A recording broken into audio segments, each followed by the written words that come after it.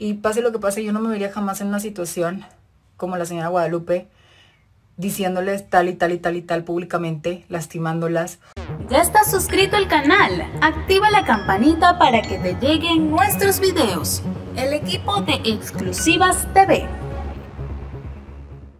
En llanto, Cintia de la Vega recuerda el calvario al lado de Lupita Jones. A través de sus redes sociales, la primera finalista de Nuestra Belleza México 2010 y titular Miss México World quiso hacer un recuento sobre la polémica en torno de Lupita Jones. Para entrar un poquito en contexto les voy a platicar eh, todo el tema que está sucediendo de Guadalupe Jones con eh, la reina Sofía Aragón. Pues bueno, eso es algo que me sucedió a mí prácticamente muy similar hace 10 años. La ex Miss aseguró que tras recibir el llamado de la prensa para contar su historia, le generó nostalgia.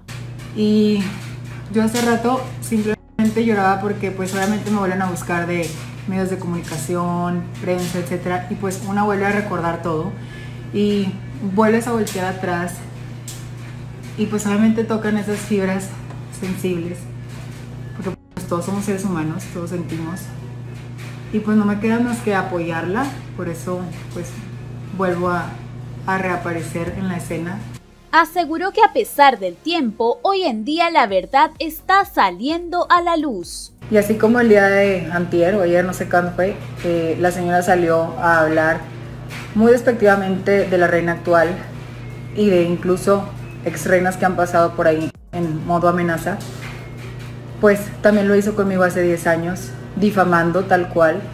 Y, y la verdad es que yo vuelto atrás y digo, pues 10 años después y vean cómo repercute también reveló los momentos de terror que pasó al lado de Lupita Jones. Después de haber sido criticada, después de haber pensado que yo era la loca, la incumplida, la irresponsable o la lo que X o Y, siento que se hace justicia. Y eso, eso que yo fui amenazada, literal, junto con mis papás sentados en su oficina por ella. Pero 10 años después me queda la lección de que tiempo al tiempo señaló que es hora de que las reinas se unan y comenten su versión de la historia. Que yo espero que en esta ocasión, a diferencia de hace 10 años que me tocó a mí, que las redes sociales no estaban tan fuertes, solo existía Twitter y no era, no era como ahora, eh, pues las reinas alcen la voz.